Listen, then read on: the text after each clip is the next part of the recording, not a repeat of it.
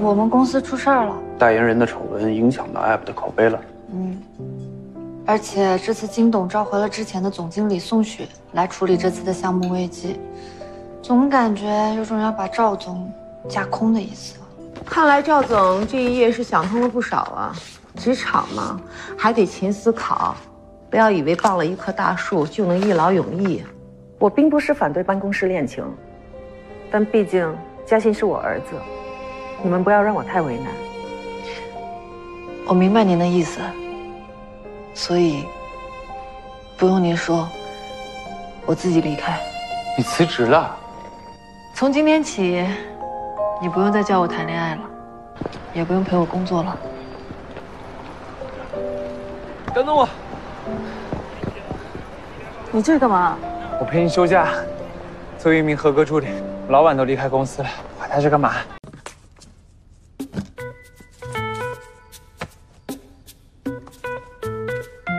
臭弟弟，还想吓唬我？哎，大叔，我失恋了，我就在你公司楼下。在我们楼下。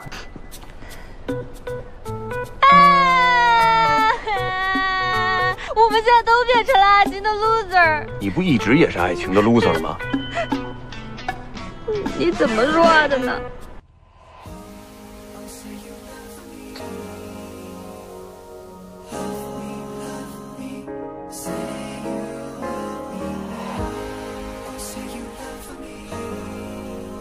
没心，我就继续问下去了。赵总，你不在的这些日子里，公司被他弄得乌烟瘴气。我们先商量出一个合适的方案给他，然后再想办法。好，好。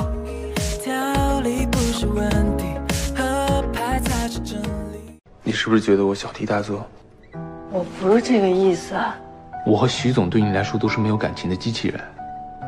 这是我给你准备的。失恋一百次，也爱你一百次。嘉欣哥哥，我喜欢你。嫣然，你这告白创意不错，但工作场合要注意分寸。有些人吧，他脑子里面就只有工作和数据，他见不得别人有感情。今天开幕式的歌手说在路上撞车了，有可能会迟到。现在什么情况呀？歌手突然来不了了。什么？那怎么办呀？不知道。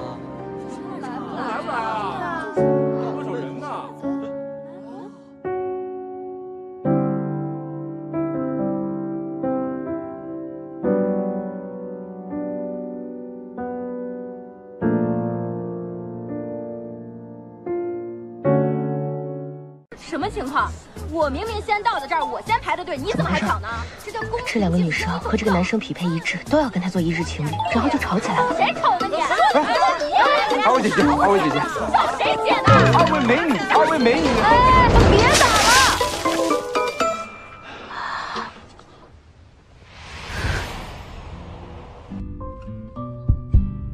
你怎么不说一声就脱了？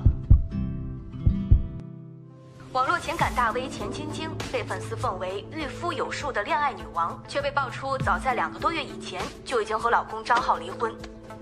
危机当头，公司需要更多的力量。我们欢迎宋雪回归公司。哎呀，赵总，真抱歉啊，本来换办公室这事儿应该给你打个招呼的。我已经让行政帮你开始收拾新的办公室了，过几天就好，就先委屈你一下。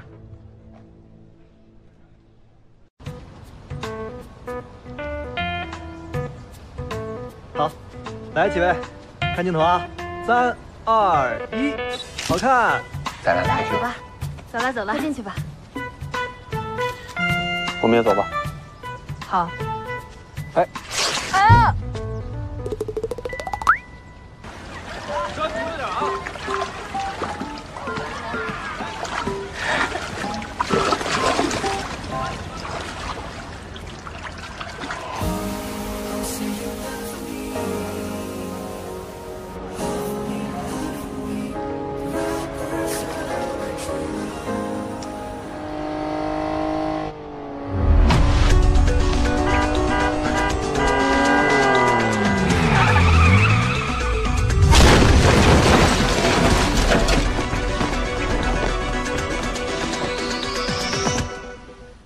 江月现在这个阶段，已经不会再去谈任何一场没有结果的恋爱了，你懂吗？徐总，不要把自己粉饰的完美无瑕。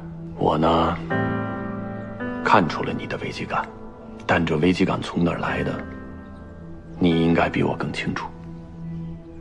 我以前不清楚，但我现在清楚了。现在，我正式向你宣战。小朋友，你要说什么？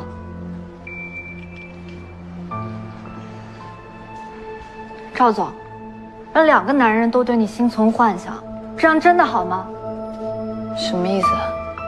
我的意思是，你能不能离嘉欣哥哥远一点？就连他车祸住院，你都不能放下工作来看他。在你的心里，工作永远都是第一位的吧？脚扭了吧？是这样吗？嗯。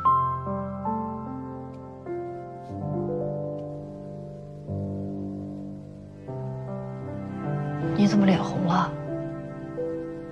最近大家工作都挺辛苦的，我特意向董事会申请了一次团建活动，地点就在同里古镇，大家可以好好放松一下了。哎，这谁的箱子？走喽！一眼。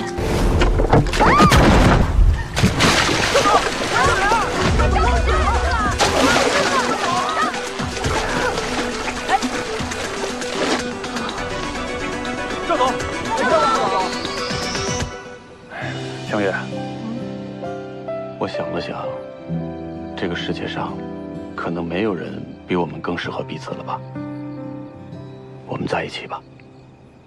赵总，你昨晚没回房间，是不是去了嘉欣哥哥？嫣然，我找你有事儿。你俩到底什么关系？昨晚我喝多了，赵总顺路送我回房间，这有什么问题吗？嘉欣哥哥，你现在眼里就只有赵小月吗？嫣然，我很早就告诉过你我的心意，但你总是活在自己的世界里，一意孤行。顾嘉欣！我跟许宁远又是最匹配的，那我应该毫不犹豫的选择他才对啊。可是，可是就像我跟你说的，总觉得哪儿不对劲儿。因为顾嘉欣，顾嘉欣应该是最不可能的。当他跟我表白的时候，我都能听到我的心跳声，我差点就答应他了。我跟徐总聊好了，这两天他来公司谈谈合作。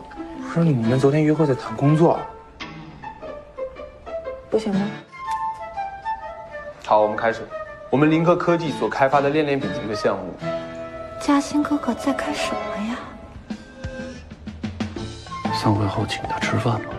徐总到底满不满意？这小子有点碍事儿。